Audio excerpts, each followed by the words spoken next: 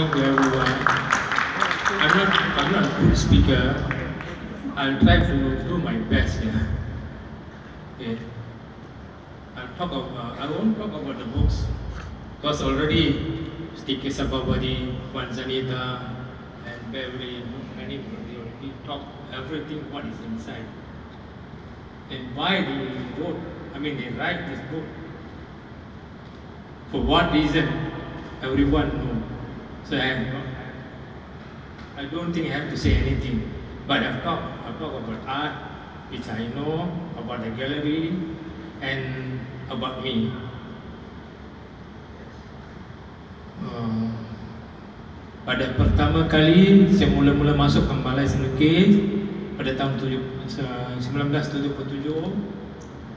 saya tak tahu apa-apa tentang seni tapi saya memang suka lihat um, painting, lukisan, apa sajalah yang mungkin and that is the time when I came in I wanted to learn I learned through Mr. Tiki Sababadi Uncle Eugene Ling, Tuan Syed Ahmad Jamal, Ismail Zain, and Mustafa, Long Tensi, and art group like Anak Alam, from MIA, ITM lecturers, MIA lecturers.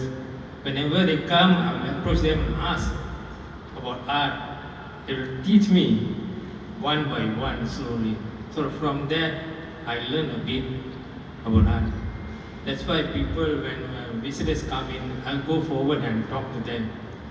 For me, it was easy when already I get some information from the artists and lecturers and from the young artists, especially Salvino and some of the artists that I know, they are very good to me. They'll, uh, they'll teach me, they will answer me. And I don't know what to say today. But uh, to me, if there is no artist, there is no art gallery. Minta maaf, saya cakap ni eh. Kalau tak ada artis, tak ada art gallery.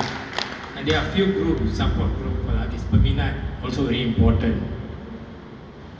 And people who collect art also important. Without that, you know, the artists have to struggle a lot very easy. We also got our own Picassos or our own Da Vinci. Don't say, when I came to the gallery, I saw a lot of the artists were suffering. Not easy to survive at that time. Even uh, the lecturers at the same time, it's not easy, you know. They only get a, salary of few, not like this nowadays.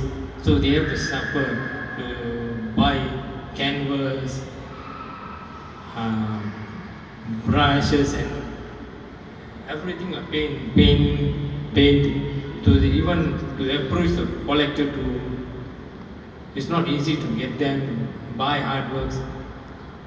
So it's very important that we must not forget uh, the artists, the collectors, and the peminat especially. Without the peminat, no one is going to come to the gallery. So I want, I want the gallery to approach the public make them understand what is art. We, we don't approach the uh, public, they don't understand, they don't know what is art is really. Uh, we all talk about art lot, but we don't approach. And I would like to say to my, my, art, my art gallery, don't be too commercial. When you bring commercial, commission, commission group inside, the art won't survive. The artist won't survive especially when they where, where can they go to show their paintings, to do work for their, to show their artworks, anything. And especially I thank Beverly because why? She put a lot of effort to bring. And Nurhani, there's more like, more who are trying to do a lot of things, a lot of effort to bring the art more more, more better than at now. There are good artwork we have. There are a lot of good artwork. Even foreigners come, they will approach our artists. But because we are not doing a lot of a lot, but we are still we are not moving forward. And that's all I'm going to say. Thanks for giving me opportunity to talk to the public. Is there anything? Thank you, Uncle Rajah. I would like now to I would like now to invite co-editors of Volume 4, Jeanette